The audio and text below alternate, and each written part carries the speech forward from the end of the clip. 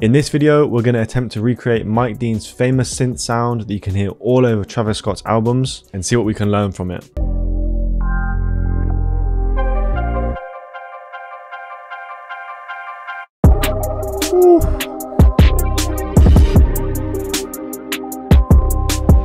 I want to start with a bass, something similar to the ends on birds, a big distorted synth sound to set the tone of the track. I don't usually start ideas this way. If we take a look at this clip, we can see that this is a way that Mike Dean starts his songs.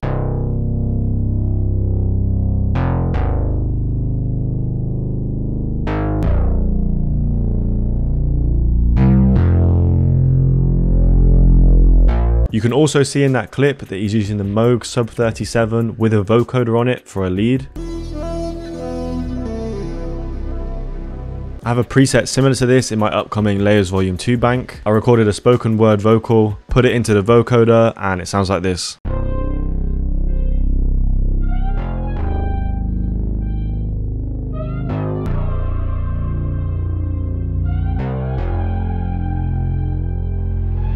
Next, the core of Mike's sound, the synth pads. He uses pads all over Travis Scott's production, including on Pick Up the Phone and his Goosebumps remix. Mike often uses the CS80 and the Jupiter 8 for pads, as you can see in this clip.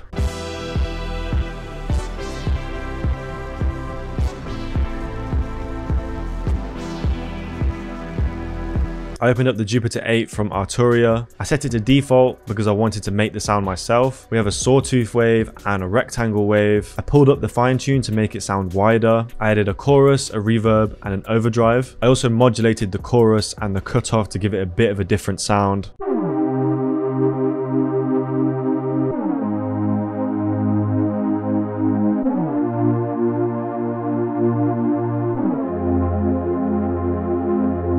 I then layered that up with the classic strings preset from the CS80 V4.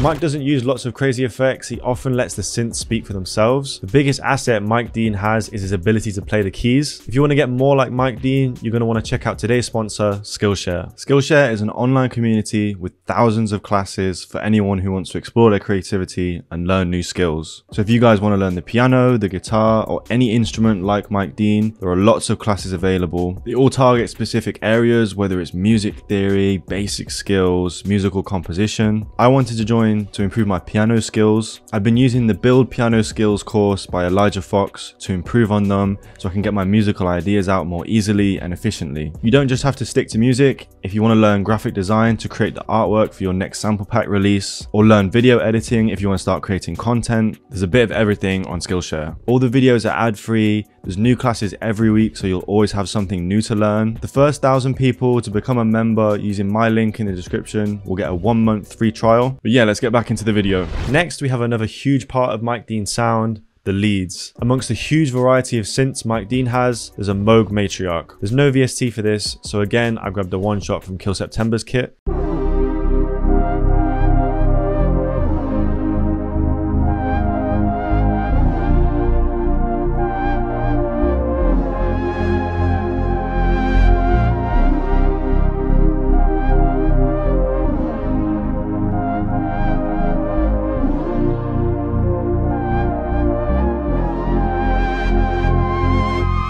As you can see, it's completely unquantized. That's how Mike Dean does it. Next, I want to take inspiration from Stargazing off Astroworld. Without Mike Dean, that song would just be two songs glued together, but he created a transition that made them blend together seamlessly. First of all, I kept the same bass sound and pretty much the same bass line. We've added a few extra notes. It's also filtered out. I've used it a couple of times already in the video, but Kill September's one-shot kit has a bunch of textures and chops and melodies and stuff like that. The first thing I added is this ARP run from the Matriarch.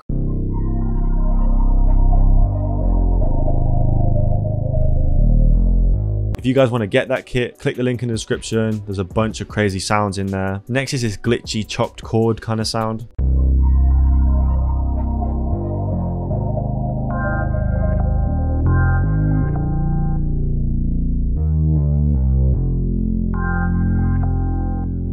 One thing I noticed about this section of stargazing was Mike still used the original sample in the bridge section. I wanted to emulate that, so I took the lead that we added in the previous section, brought it into here, and I pitched it down by a whole octave.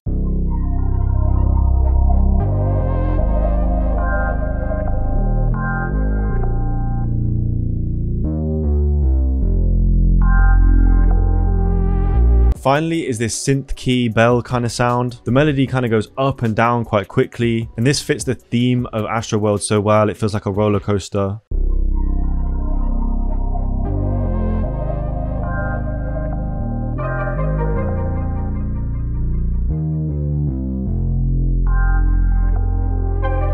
I also added this synth ARP run from Kill September's kit again.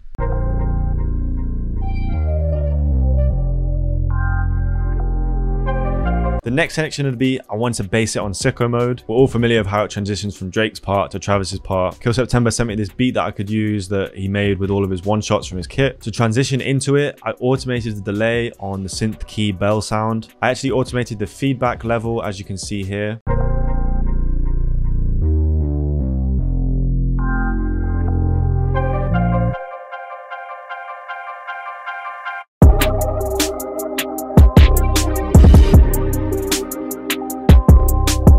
And finally, I wanted to make the outro something like Stop Trying to Be God. I opened up the Wurli V2 from Arturia, chose the Rhodes preset, added a reverb, some super heavy compression, and I added some tremolo, which you can really hear in the song.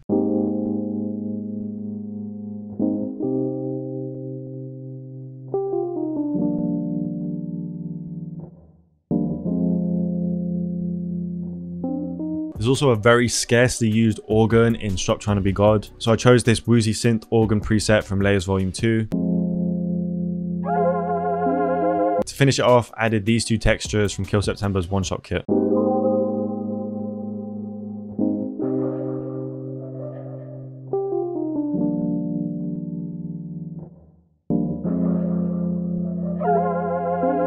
I hope you guys enjoyed this one. I'm just going to play the final beat so we can hear how everything transitions together and I'll see you in the next one.